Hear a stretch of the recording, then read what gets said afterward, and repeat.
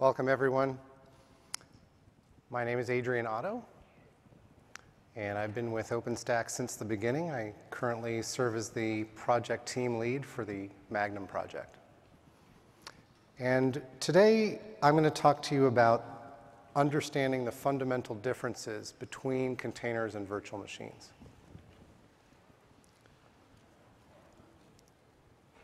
And the thing that I want you to remember about this when this session is over is that something special happened in 2013. A very simple idea happened that changed everything. Before I get to that idea, I'm going to tell you about another one. In 1873, toothpaste looked like this. It came in a, essentially in a jar, and it was in a powder form. You would shake it out onto your toothbrush. And it wasn't until 23 years later that in 1896, toothpaste came in a tube for the very first time. Now, the idea actually came from the observation of extruding paint from a similar tube. And the individual who observed this thought, well, look, if, if we could administer paint from a tube, we could do the same thing with Colgate. Right? We could do the same thing with toothpaste. And I just think that would be better. And it turned out they were right. It was better. In fact, it was so good that Colgate, by 1908, made it their marketing slogan that they couldn't improve the product, so they improved the tube. In 1962, Colgate opened a facility called the Colgate Research Center. And this is a place where they would work on making better formulas of toothpaste, making different products, trying them out, seeing what works good, seeing what works best. And in 1978, somebody who worked in the Colgate Research Center as a lab assistant came up with a really interesting idea. She said, I have an idea that if you do this, which will cost basically nothing and pretty much no time in order to accomplish, will double the sales of the product. And she approached the management with this idea and said, Why don't you allow me to try this idea? We'll change Colgate. Our sales will double, and you'll give me 1% for a year. And they hesitated at first, but then they thought, well, if nothing happens to sales, we're out nothing, so why not? And so they entered a contract with each other. And once it was signed, they, uh, they put a piece of paper in front of her and said, okay, document the idea. What is it? She says, it's six words. Make the opening twice as big.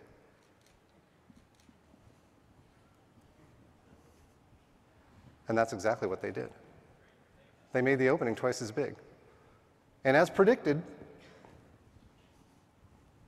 they started selling twice as much of the product. And that story would be good if it were actually true. But it's not. It's a fabrication, partially a fabrication, for the purpose of highlighting the point that very simple ideas can be extremely powerful. Now, there is actually some science relating to toothpaste that is true that I would love to talk about more. There's something called the toothpaste tube theory, and it means um, essentially you can't keep squeezing a tube beyond a certain point to get any additional benefit. It's also used to describe um, human behavior in legal negotiations. And there's also a, a second meaning to the toothpaste tube theory that says there's diminishing returns after a certain point. So if you have a bounded system where you have pressure continuing to increase and increase and increase, eventually something's going to go kaboom. That's the idea behind the toothpaste tube theory.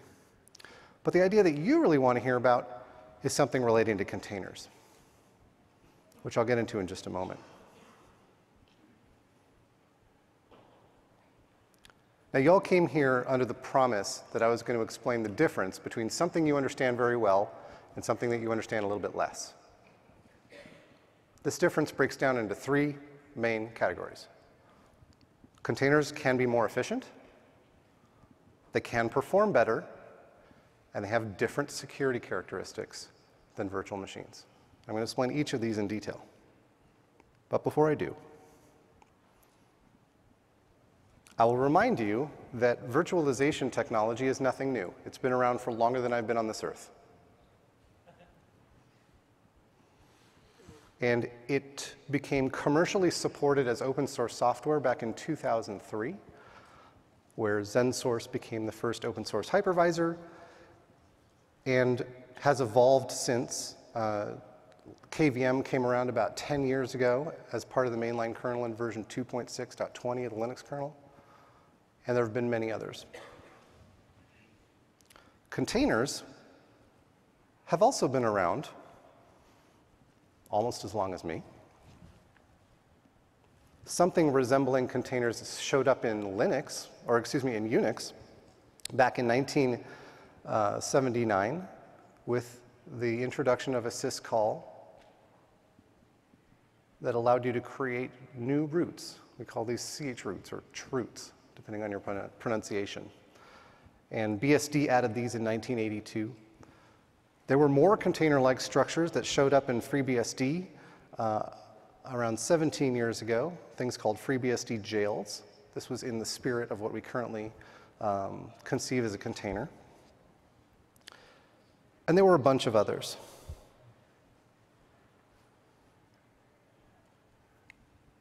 Around 2013, Google had something called LMCTFY. Let me contain that for you. An effort that was um, later eclipsed by something even more compelling. So in 2013, a software called Docker was born as an open source project. It was introduced by a, an organization called dotCloud that was in the platform as a service business before entering the software business. There were innovations, uh, numerous innovations since then, uh, but 2013 is where something really interesting happened. This is that idea that I've been alluding to. It is the concept of a Docker image or a container image. Now, the image is the thing that was missing from that entire history that I just covered. Okay? All of the container innovations that happened before 2013 did not include a way to encapsulate all of an application's um, requirements and dependencies in a portable, lightweight bundle. Before then, what you had to do is create a disk image, okay, and install what appeared to be an operating system file system, which then you would uh, attach the container instrument on top of. And those things weren't very portable. They tended to be very large, uh, which made the creation of containers relatively slow until this innovation.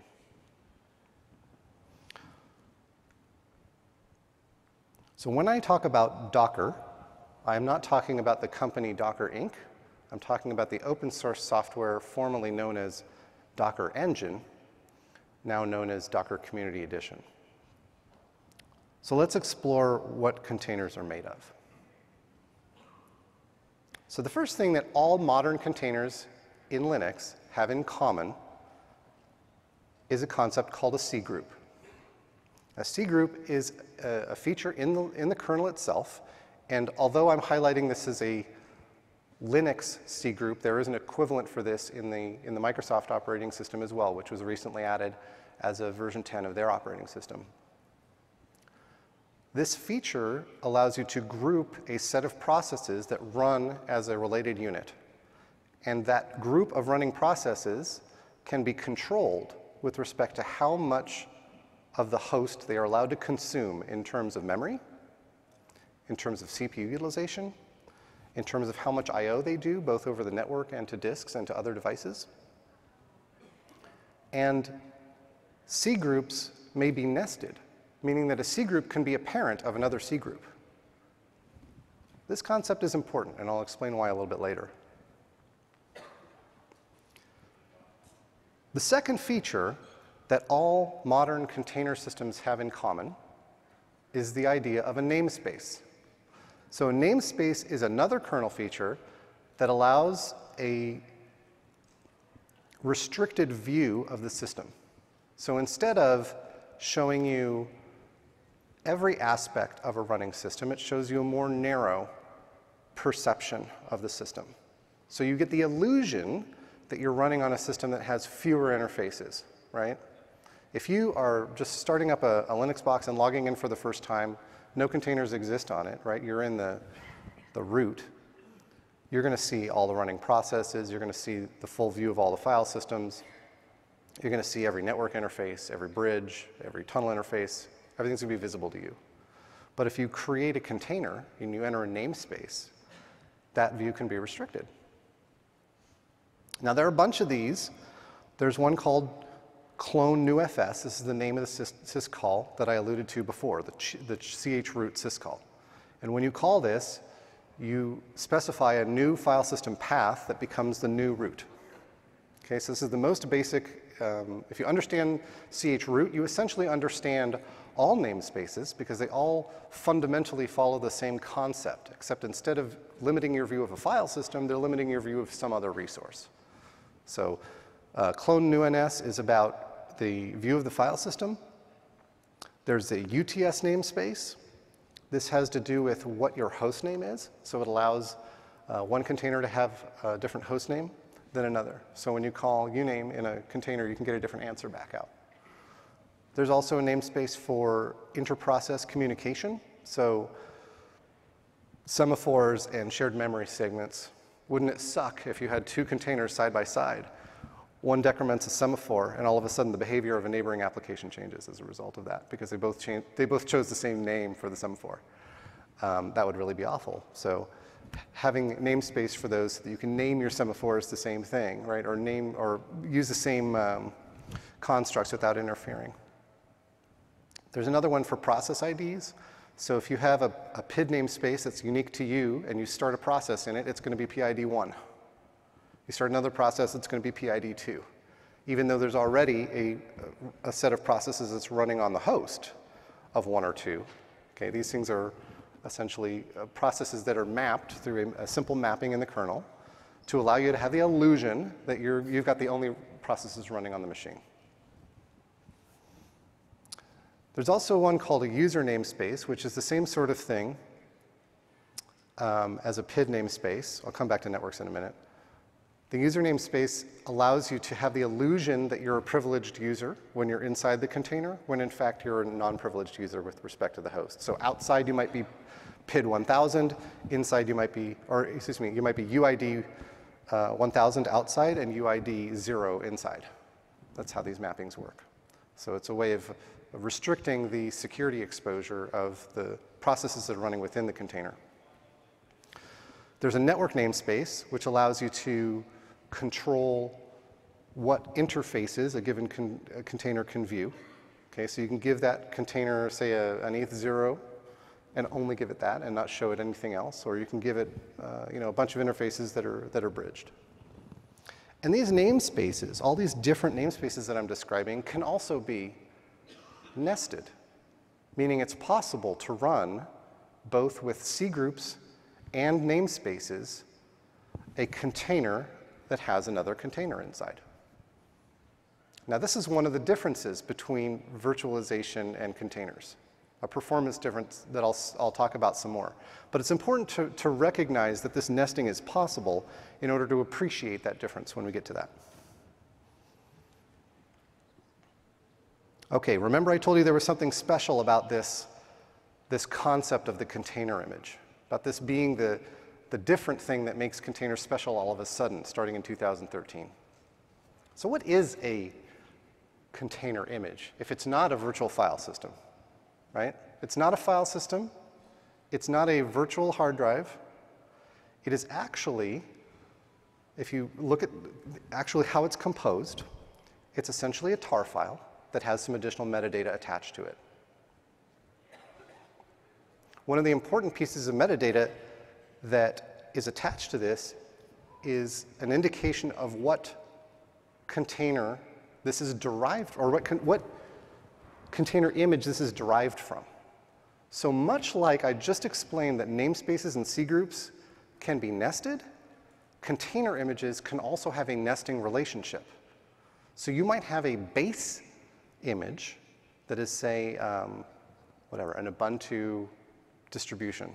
Right? Ubuntu distribution is my base image. I might have a container image that says, yeah, based on that, this other stuff too. And it's just that additional stuff that is in that tar file that makes up the container image. And the piece of metadata stating what it's based on is the important part. Y'all with me? Yeah. Yeah. Okay. So you can have, you know, in this relationship, right, a container can have an arbitrary number, or a, an image can have an arbitrary number of these dependencies back up. So you can have a, the concept of a, uh, a base image, a child image, a grandchild image. We could keep going down and down and down and down and down. I would argue that once you get down more than about two or three levels, it probably doesn't make sense to continue doing that. And there are some limits in some versions of, uh, say, for example, Docker that would limit that. I think there was a limit at one time that uh, was something like 40 or, or 60 of these. You couldn't go any further. I think that's since been lifted, but um, if you can't describe your system in less than, say, four levels, you're probably doing it wrong.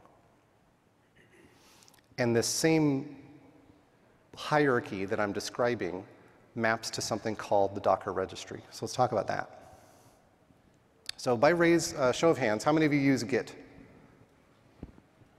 I'll give that like 90% of the audience uses Git. If you understand Git, you already understand how the Docker registry works because the semantics are the same. You pull in order to get a copy of something out of the registry. You can actually change it and do a commit and then push that back up into the registry to save a new version of it. And this maps the same hierarchy that I was talking about before, right?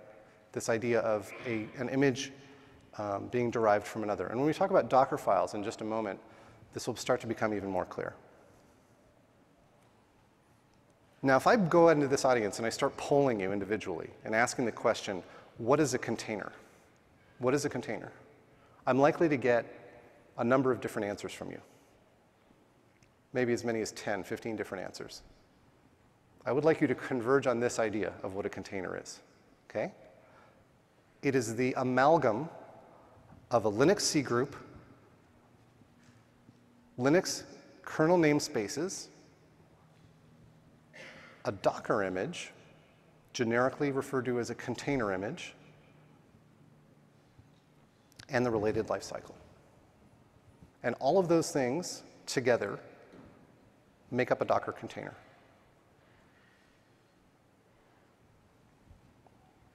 If you're missing the namespaces, it's really not a container. If you're missing the C groups, it's really not a container. If you're missing the Docker image, you could argue, but I'm saying that what we believe today is compelling about containers don't make sense without the container image. It is the differentiator. So where do babies come from?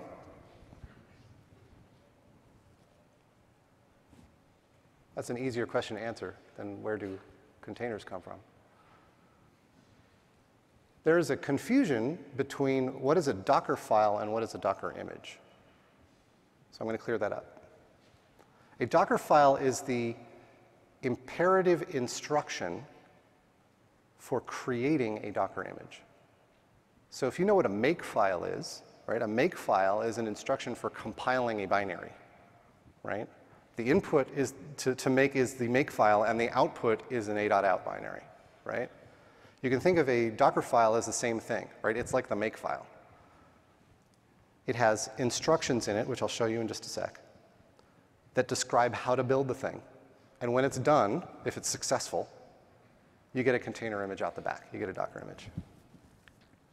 So this is not to be confused with a, uh, like an orchestration artifact or a pod file for Kubernetes, right? These are declarative descriptions of a deployment of an application. That's not what a Docker file is for. A Docker file is just instructions for building a single image. Let's see what they look like.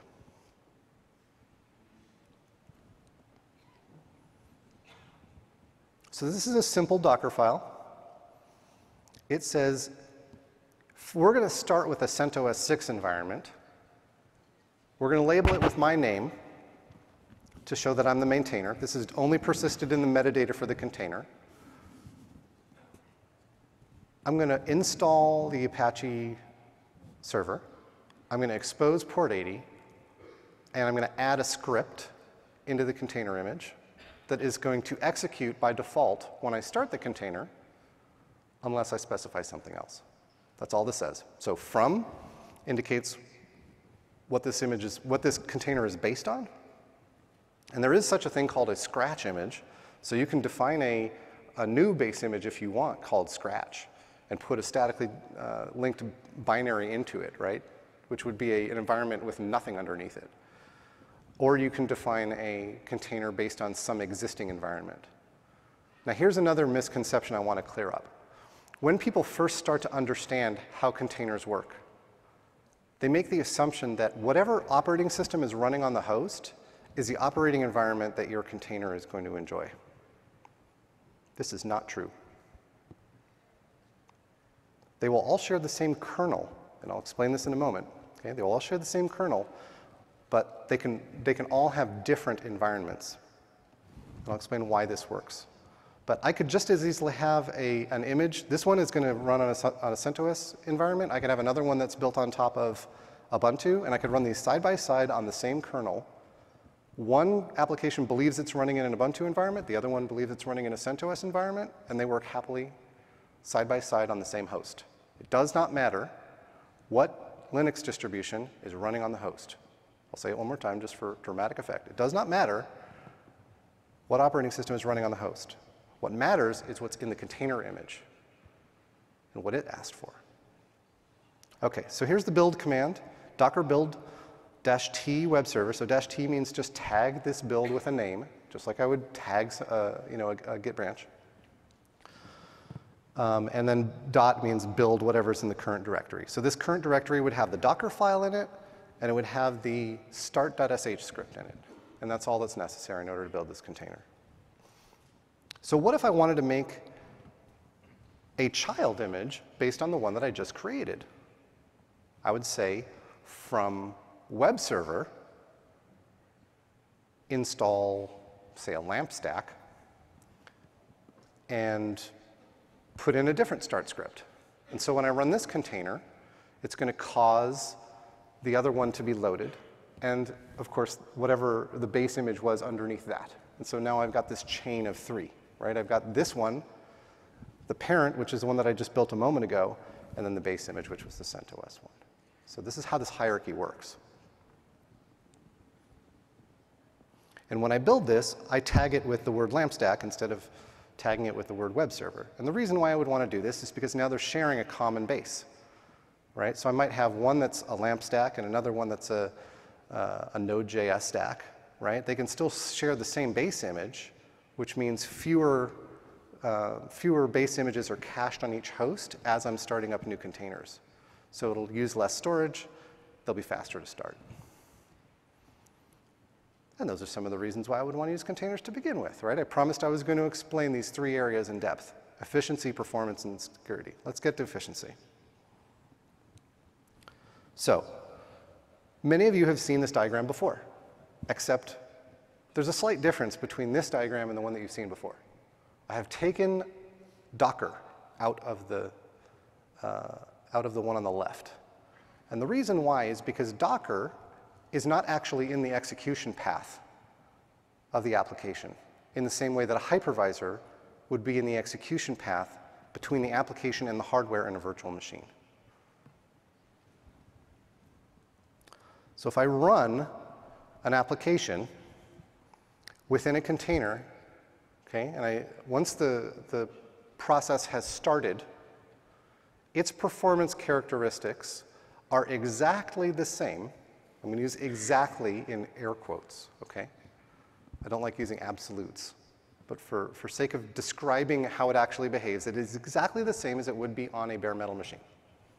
Because the things that make a container different pertain to the maintenance of the namespaces and the C groups. That affects the process startup and the process teardown, but it does not affect how that process can interact with the kernel while it is running. So if I do something like a, uh, an open syscall, right, and I read from it, should I expect the performance to be slower just because I'm running in a container? What do you think? Yes or no? No. I should expect it to behave the same as if I weren't in a namespace and I did the same thing. Because once my process is running, the fact that it's in a namespace is not changing the execution path between that running process and the equipment that it's running on top of. Of course, that's different in the case of running in a virtual machine. So if I'm running in a virtual machine, I've got my own kernel, then I've got a either hardware assisted or software emulated conversion right? I'm, uh, something that's imitating a machine, and then underneath that you've actually got the hardware. So in a virtualized environment, should you expect the behavior of your application to be different or slower or worse in some way than it would if you were running on the bare metal?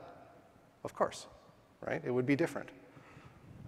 So this is how, uh, when people say containers are faster, sometimes they're describing that well, they're faster to start up than virtual machines because of the nature of how the container images work, right? This layering that I described, that hierarchy.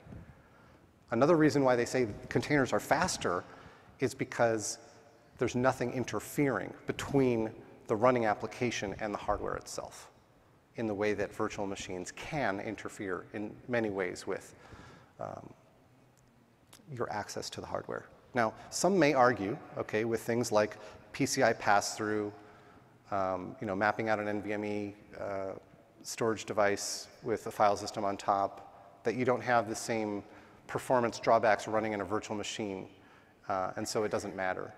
But the truth is, um, those behave differently from one kind of equipment to another. And you can't generalize that it's going to be as good as bare metal on every single machine that you run it on. Whereas when you're talking about a container, I can offer you an assurance that it's going to behave the same way regardless, um, regardless what the different equipment is. Okay, so it's a stronger argument for uh, there is a more universal performance benefit running an application within a container versus running it in a virtual machine. Now the next difference is a security difference. Does anybody recognize this? What is it?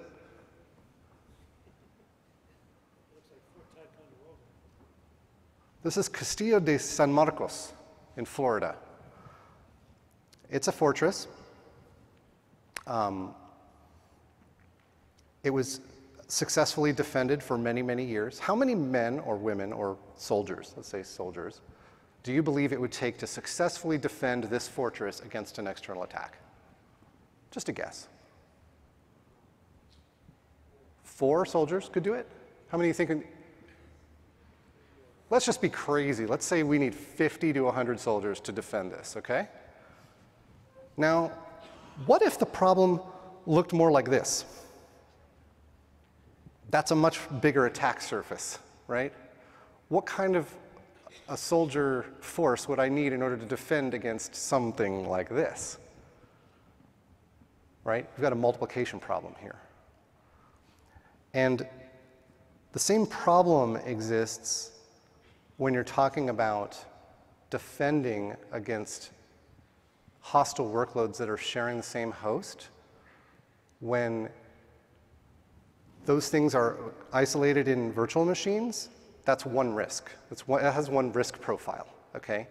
When those things are separated only by containers, that is a different risk profile, a much more complicated risk profile, which I'll get into in a minute.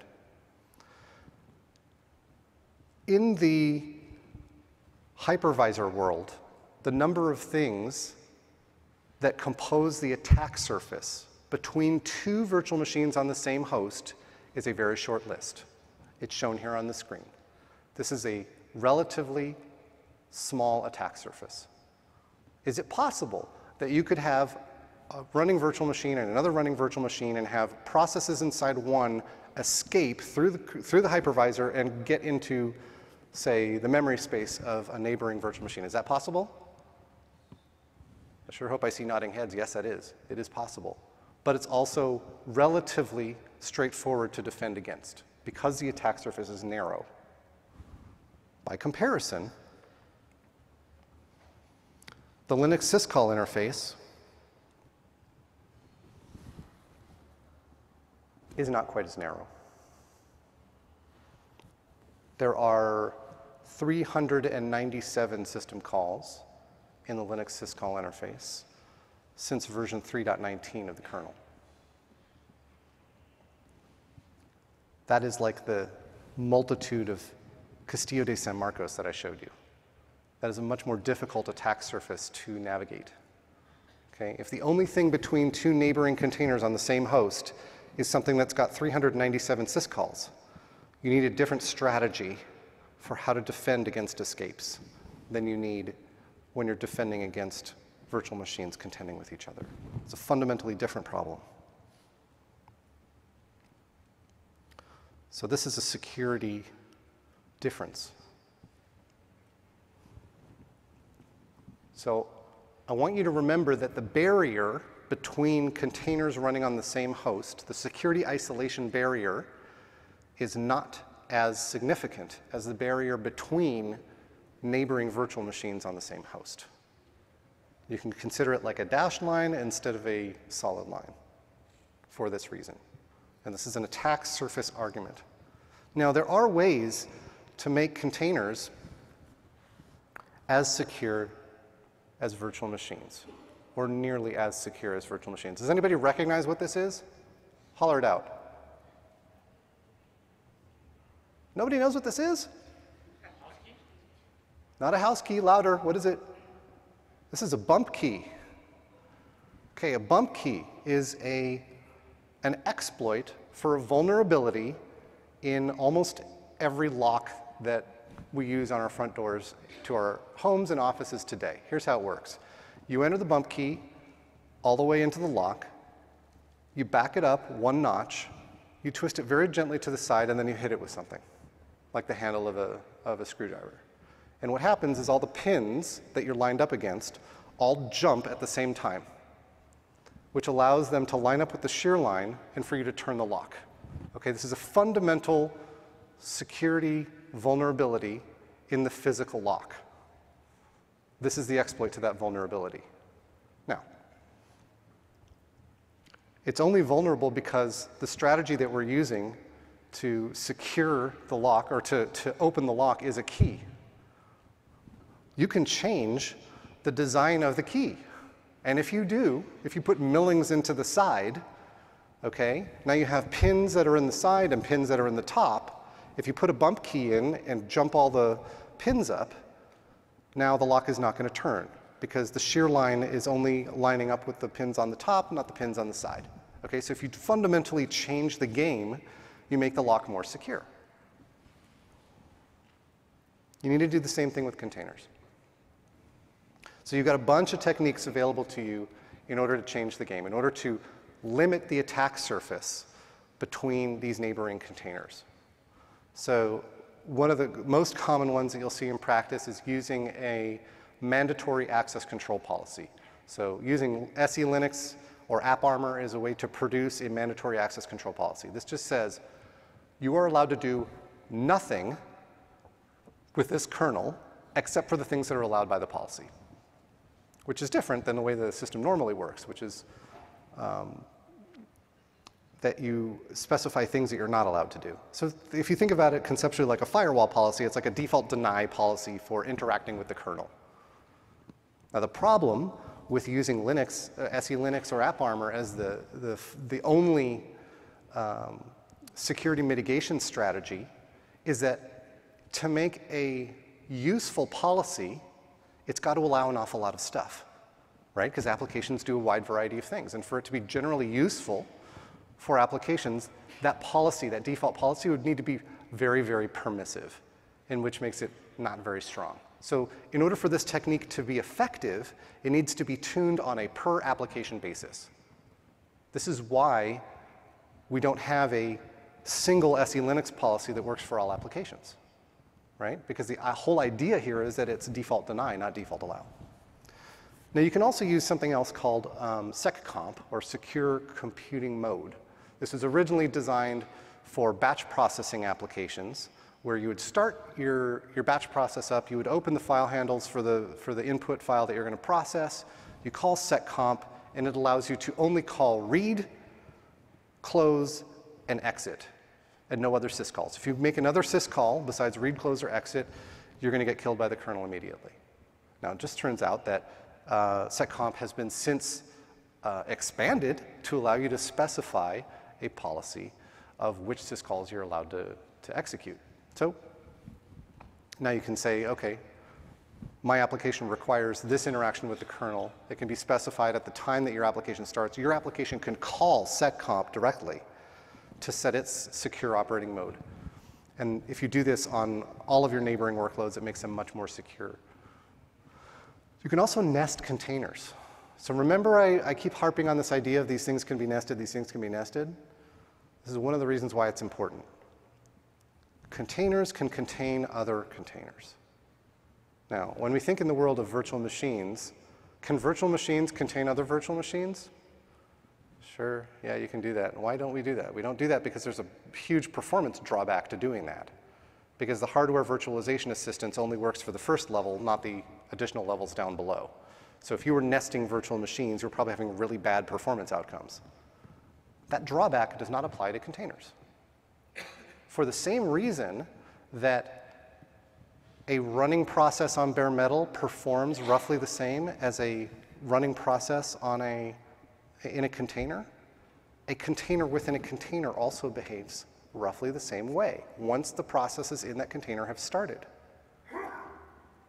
So you can nest containers, put SE Linux policy on the one that's at the top, right? and then create other containers underneath. And an escape now needs to be multi-factored, right? A multi, an escape exploit needs to be multi-factored in order to successfully escape not only from, uh, from one container into the next, but then from that container into the host.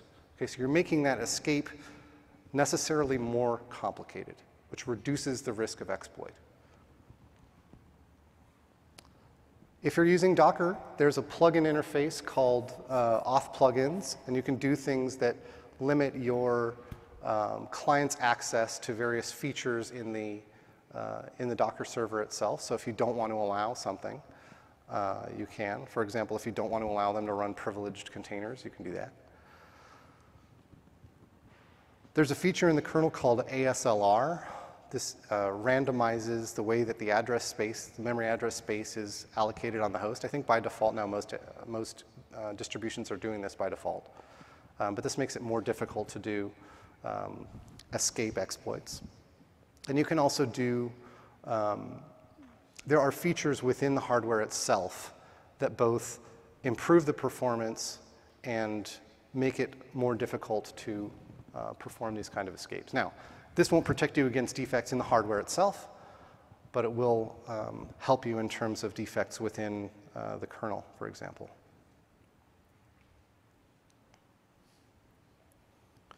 So, in this talk,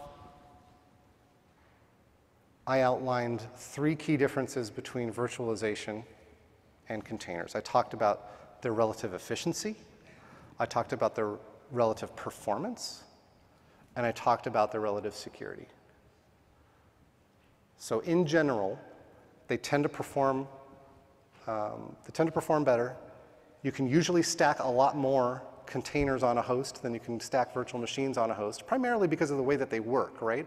A container says you're allowed to use a maximum of a certain amount of resource, okay? But it doesn't pre-allocate that resource. So if I'm memory bound, for example, and I create a lot of virtual machines that all have overhead of memory that's pre-allocated, I'm probably allocating a whole bunch of memory that I'm not using. Whereas if I'm using containers, I'm only saying you're, you're only allowed to use a maximum of. So the oversubscription rate is much higher. So from an efficiency perspective, more work ends up happening on the same host.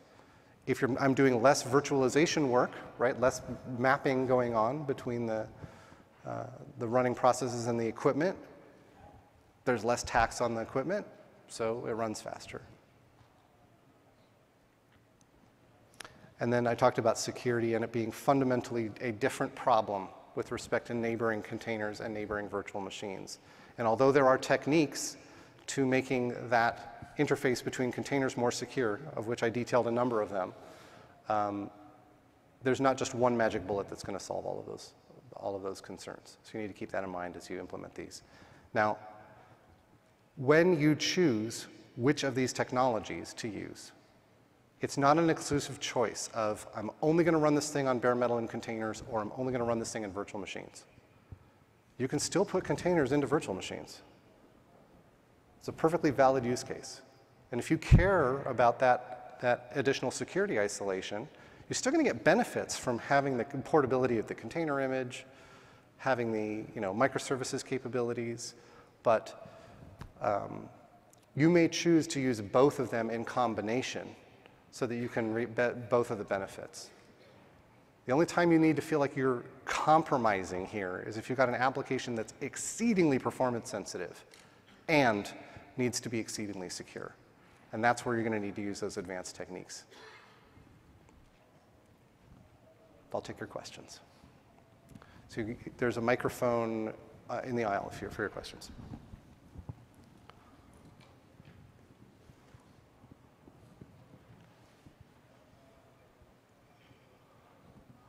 Howdy. Hi. Uh, did I miss the part where you talked about how two things can be running under different distros and feel like they're running under their own? Instead Yeah. Under the same distro? I did promise to explain that. Uh, so when a container starts, it's sharing the kernel with the, with the host, right? The container image specifies what the layered file system will look like when it ch roots into it, right? So essentially it's going to take, in my example, right, I showed a, a CentOS example. It's going to have a file system of the CentOS distro plus the Apache server that I added, right? That's going to be laid on a, as, a, as a second writable uh, layer. And I can interact with that as if it's a CentOS host. I can create another Docker image that's based on, say, Ubuntu, and start it. And it's going to be using the same kernel at the same time. Now, some people believe that just because a distro is set up a certain way that it requires a certain kernel. It turns out that the Linux syscall interface is a stable API. And because it is a stable API, since roughly version 1.3 of the kernel, well, version 3, 319 and later for sure, the, the, the interface is not changing. The API is not changing.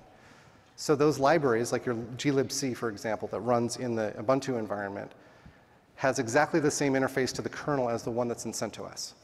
They are literally identical. So because that is a stable API, it does not matter which kernel you're running. Now, some may argue with me. They may say, no, there are actually differences in the kernel. And to some extent, that's true. You shouldn't expect a, an application that was designed for today's kernel to work on one that's built 10 years from now. Okay, that's an unreasonable expectation. But in terms of what's running today, the general, the general answer to that question is they are compatible. And I have, for example, five or six different operating environments all running on the same kernel at the same time, and yes, this does work. Does not matter. As long as you're running a modern kernel that has all of the features of all of the applications that you're running, they're going to work. You're welcome. Yes. Hello. So I, I had, um, excuse me, a discussion with somebody a while back, and uh, they were um, making the point that, or trying to, that uh, somehow um, containers, because of the file structure you spoke of, um, are, have a greater affinity to the DevOps model. And that would be ultimately one of the things that will, acce- you know, ta- accelerate the take-up of containers. Do you see any truth in that? Well, look, what DevOps cares about is getting through CI/CD fast, right? So any tool that's going to accelerate the process by which you go through your CI, that's going to be considered valuable. And Docker has been shown to greatly accelerate most people's CI because the containers start more quickly, they use fewer resources, um, and they have a, um, once you've created the image, it behaves the same in test as it behaves in production. That binary artifact that you create both is what you tested and what you deploy into production, assuming you're following best practices. Um, it's super attractive for that reason. So yes, I would say it would, it would definitely take on to that audience quickly. All right, thank you everyone for attending.